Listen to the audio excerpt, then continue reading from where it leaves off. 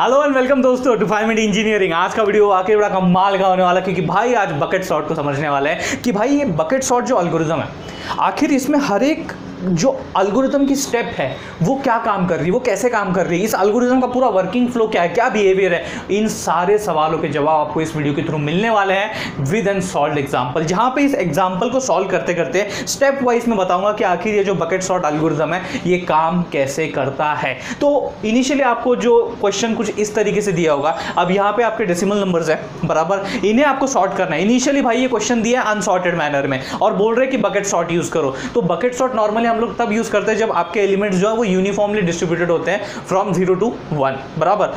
अभी अगर मुझे शुरू करना है बकेट शॉट अप्लाई करना है और इन्हें सॉर्ट करना है तो उससे पहले एक चीज़ समझना बहुत ज़्यादा ज़रूरी है, वो है भैया ये स्ट्रक्चर कि ये स्ट्रक्चर मैंने ज़ीरो टू नाइन ऐसे क्यों लिखा हुआ? Why I have written this structure like this क्योंकि हमारा जो मेन फोकस रहने वाला है दोस्तों, हर एक इस एलिमेंट पे, वो रहने वाला है इस डेसिमल पॉइंट के बाद वाले नंबर पे।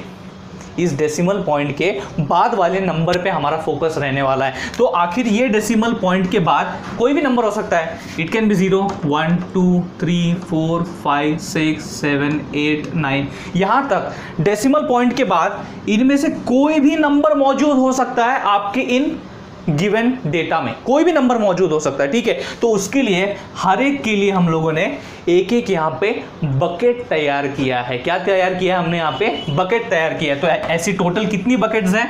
ऐसी यहाँ पे 10 बकेट्स हमने कंसिडर की हुई है। ओके और फिर अभी इन बकेट्स का इंपॉर्टेंस क्या है? इनका सिग्निफिकेंस क्या है? कैसे अभी ये हम लोगों को बकेट्स हेल्प करेंगे सॉर्टिंग करने में? वो अभी समझते तो पहला स्टेप तो समझ में आ गया भैया कि डेसिमल पॉइंट के बाद वाला जो नंबर होगा, उसके ऊपर हमारा फोकस होगा। और वो कोई भी हो सकता है। तो हमने क्या किया भैया? इतने बकेट्स कंसिडर कर लिए, दस buckets indicating zero one two three four five till nine बराबर है? तो अभी हमारा अगला स्टेप क्या होगा? अगला स्टेप चलो चलते हैं। एक एक एलिमेंट को लेते हैं। बराबर? तो पहला एलिमेंट है point three five point three five तो हमारा फोकस कहाँ है? डेसिमल पॉइंट के बाद वाले नंबर पे थ्री तो ये जो है आपका, ये एलिमेंट कहाँ जाएगा?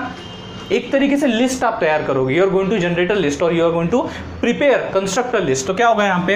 It will be like this इस तरीके से होगा। Point three five I hope you understand कि भैया इसके डेसिमल पॉइंट के बाद थ्री था, इसीलिए ये जो बकेट थ्री है, जिसका यू कैन से जो बकेट लेबल्ड आपकी थ्री है, उसे मैंने एक तरीके से ये एलिमेंट लगा दिया है। और ऐसी आपको लिस्ट तैयार करनी है अभी। अगर इसके बाद भी अगर कोई ऐसा एलिमेंट आता है, जिसके डेसिमल पॉइंट के बाद थ्री है तो आप उसको इसके पीछे लगाओगे। तो एक तरीके से आप ऐसी लिस्ट तैयार करते जाओगे, बराबर? तो अब आते हैं भैया पॉइंट ज़ीरो है। तो यहाँ पे इस बकेट को हम लोग यूज़ करेंगे। बराबर। और उसके अंदर हम लोग वो जो एलिमेंट है, उसे यहाँ पे एक तरीके से डालेंगे। ठीक है? हो गया अगला। पॉइंट के बाद नाइन आ रहा है। तो कहाँ होगा? यहाँ पे होगा। बराबर है? That is point nine nine बात सही है? उसके बाद पॉइंट थ्री हाँ अभी पॉइंट थ्री वापस आ गया तो हम लोग कहाँ जाएँगे? इसी बकेट पे जाएँगे। और इसके बाद जो है, उस एलिमेंट को यहाँ पे रख देंगे। पॉइंट थ्री नाइन बात सही है? उसके बाद आते हैं पॉइंट ज़ीरो फाइव पे। तो अभी पॉइंट ज़ीरो है मतलब डेसिमल के पास ज़ीरो है तो इसको चुनेंगे इस बकेट को और इसके अंदर उस पर्टिकुलर एलिमेंट को भाई डाल देना है, बराबर? आगे आते हैं भैया पॉइंट फोर फाइव तो यहाँ पे डेसिमल पॉइंट के बाद चार आ रहा है तो यहाँ पे लगे जाना है फोकस आपका और एलिमेंट को डाल देना है that is nothing but the point four five it is बराबर? आगे देखते हैं पॉइंट टू है डेसिमल पॉइंट के बाद टू आ रहा है तो अभी ये कहाँ जाएगा? यहाँ पे जाएगा, यहाँ पे कोई भी अभी तक एलिमेंट नहीं था इस बकेट में अब ये पहला एलिमेंट है पॉइंट टू थ्री। उसके बाद आते हैं पॉइंट फोर ज़ीरो। वापस फोर पे जाना है और इसके पीछे एक एलिमेंट लगा देना है that is point four zero. बराबर है? करेक्ट उसके बाद आते हैं पॉइंट फोर टू। भाई, हदी हो गई। लिस्ट काफ़ी लंबी हो गई फोर की। बकेट फोर में ज़्यादा एलिमेंट्स हो गए, यहाँ पे एक तरीके से कह सकते हैं। पॉइंट फोर टू हो गए। बराबर? And point two one. Point two one. That is decimal point के बाद टू है। That is it is point two one बराबर? तो भाई, अभी यहाँ तक तो स्टेप हो गया, यहाँ तक तो हमने कर दिया। इसके बाद क्या करना है? तो हमने यहाँ पे क्या किया है? एक एक बकेट में इन रिस्पेक्टिव एलिमेंट्स की लिस्ट हमने यहाँ पे तैयार कर दी है। अभी इसके बाद स्टेप क्या है? क्योंकि अगर आप गौर से देखोगे, मैं अगर डायरेक्टली इनको ऐसे ही लिखना शुरू करूँ मतलब इफ़ इफ़ आई से अगर मैं ऐसे ही लिखना शुरू करूँ तो क्या होगा वो? Like this point two three point two one अगर मैं इसी तरीके से लिखता जाऊँ, एक तरीके से कॉन्कैटिनेट करूँ इसी फॉर्म में तो अगर आप देखोगे तो यहाँ पे मेरा सॉर्टेड नेचर नहीं दिख रहा है मुझे।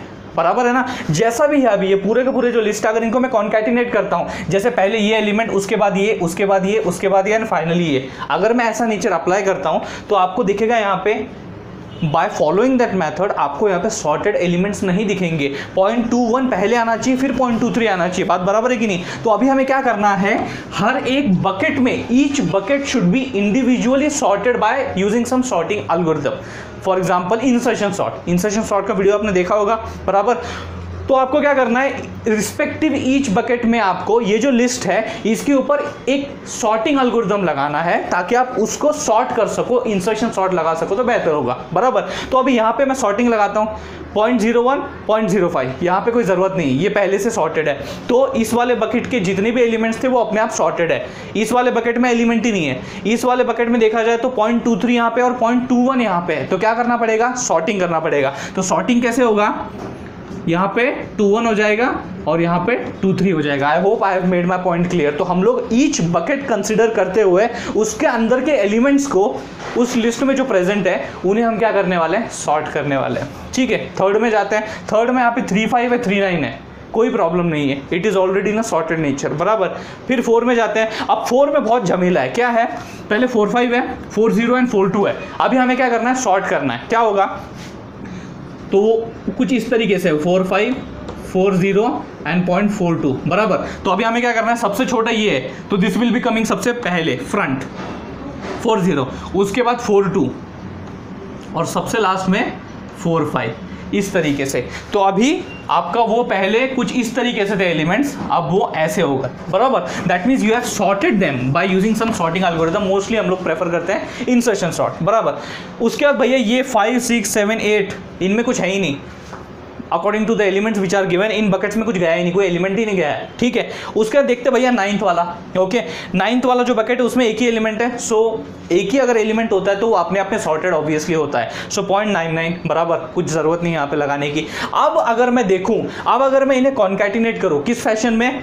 In this in this respective fashion अगर मैं इस रिस्पेक्टिव फ़ैशन में इन्हें कॉन्कैटिनेट करता हूँ like this like this if I am concatenating तो कैसे होगा वो आंसर डायरेक्ट आपको जो रिज़ल्ट आएगा बकेट शॉट का, वो कुछ इस तरीके से दिखेगा।